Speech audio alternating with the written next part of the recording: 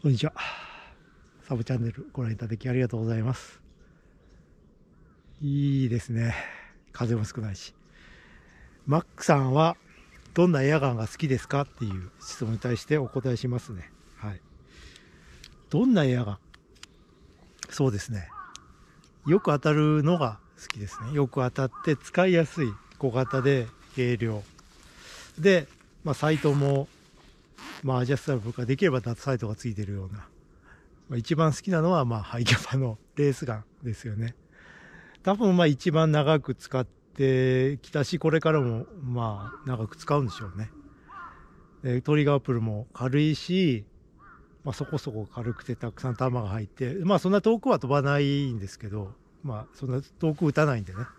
まあ、至近距離だったらある程度命中精度もあって、まあ、リコイルもそんなにまあ、強くはないし、まあ、連射しやすくて打ってて楽しいですね、まあ、どんなエアガンが好きかっていうと打ってて楽しいエアガンが好きですね。あの なんか動きが硬いとかなんですか鳥が重くてガクビキガンみたいな引く時にね引きがねぶれてこうずれやすいとか。まあそれはある意味逆に面白いは面白いですよ。何この銃すごい打ちづらいのを打ちこなしたいなっていう、まあ、そういう逆の楽しみが出ちゃうけど基本的にはねあの狙ったところに弾が飛んでたくさん撃ててあの自分の思ったようにコントロールしやすい銃が好きですね。まあたまにはその反動のあるのも好きだしそうですね。まあ楽しみ方いろいろというかね。まあずっとまあやっぱり競技用のが好きは好きなんですかね。まあ、電動ガンとか M 4とかね、まあ、サバゲー最近全然行かないんですけど、そういう時にはまあね、電動ガン、普通のやつ、よく飛んでね、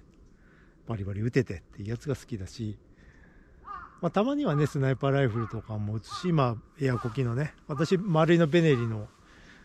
あの、エアコキが好きなんですよね。あの、ちょっと長い。そうなんですよ。キジさんがいてね、今あっちの方向で、前に動画撮ってますよね、キジが出たとか、ね。まあ、なんか近くいるみたいですね。前ね、こ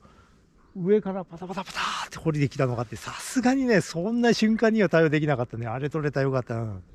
そこのね、藪とかに入ったりとかしたこともあったんですよね。話が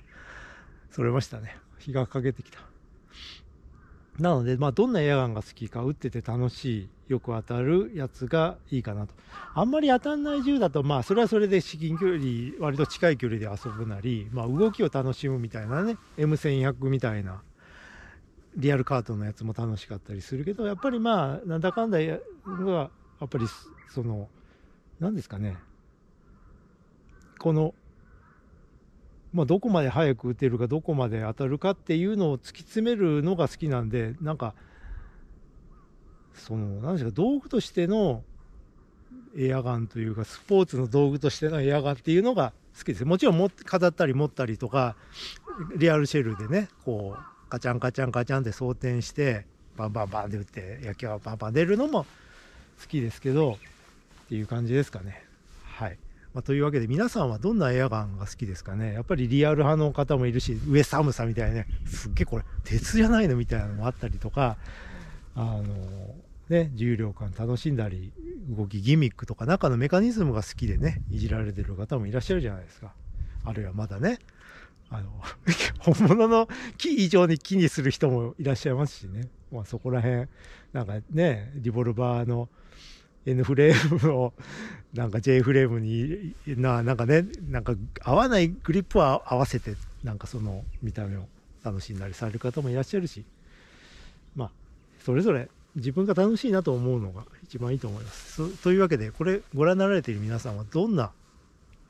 エアガンが好きですかっていうのをねよかったら教えていただければと思います。